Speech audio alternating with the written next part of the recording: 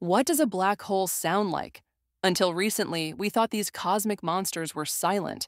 After all, sound can't travel through the vacuum of space. But in 2022, NASA scientists made an astonishing discovery. Using special instruments, they captured actual sound waves from the supermassive black hole at the center of the Perseus galaxy cluster. These aren't ordinary sound waves. They're pressure waves rippling through the hot gas surrounding the black hole, creating ripples that can be translated into audible frequencies. The original sound waves are actually 57 octaves below middle C, far too deep for human ears. To make them audible, NASA scientists had to scale these infrasonic waves up by 57 octaves, bringing this cosmic bass note into human hearing range. The result? A haunting, otherworldly moan that sounds like something from a horror film, a deep, resonant rumble punctuated by eerie wails and ghostly howls.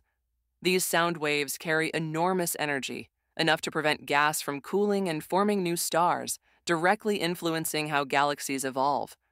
So the next time you gaze at the night sky, remember that space isn't silent after all. In the darkness between stars, black holes are singing their ancient alien songs. We just needed the right instruments to hear them.